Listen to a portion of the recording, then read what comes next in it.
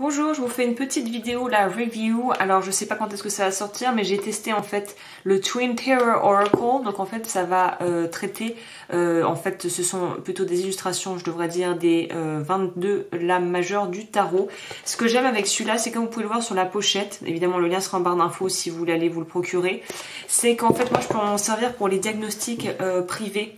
ça permet d'avoir une plus grande, des informations encore plus précises. Et en fait ça va se présenter sous cette forme. Vous avez les lames, mais en fait les deux versions, c'est-à-dire la version ombre et entre guillemets la version lumière. Donc je trouve que l'idée est vraiment géniale parce que du coup ça nous permet d'avoir encore plus d'infos par rapport à des potentiels déséquilibres qu'il peut y avoir.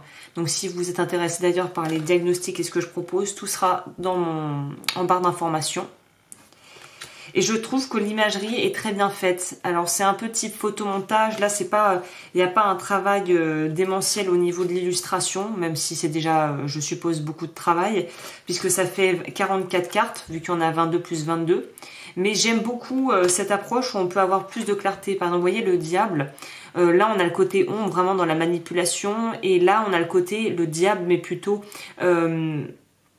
je me souviens plus de son nom,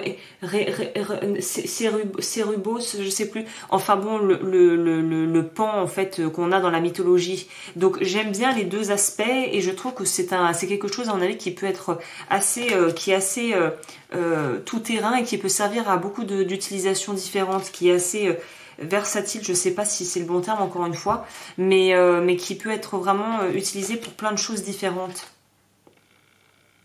la justice des dieux, la justice des hommes.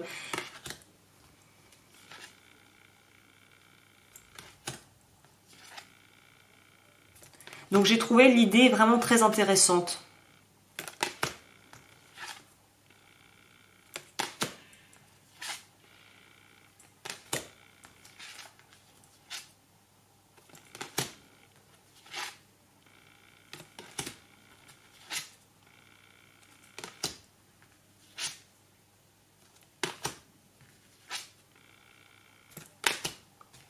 Celle-là, c'est la plus parlante, la carte du fou.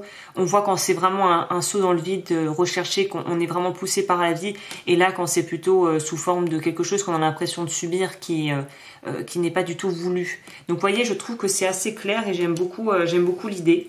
Donc euh, si vous aimez ce genre de vidéo, n'hésitez pas à liker, à vous abonner et à regarder la playlist que j'ai également, je mettrai en barre d'informations. Ah oui, je vous ai pas montré le dos que je trouve extrêmement joli aussi, la plume de pan avec euh, le pentagramme. Donc voilà, c'est aux éditions Lo Scarabeo. La qualité de carte a l'air plutôt bonne euh, et le petit livret qui va avec et comme, tous les livrets Lo Scarabeo, c'est souvent très succinct mais ça donne déjà des petites bases.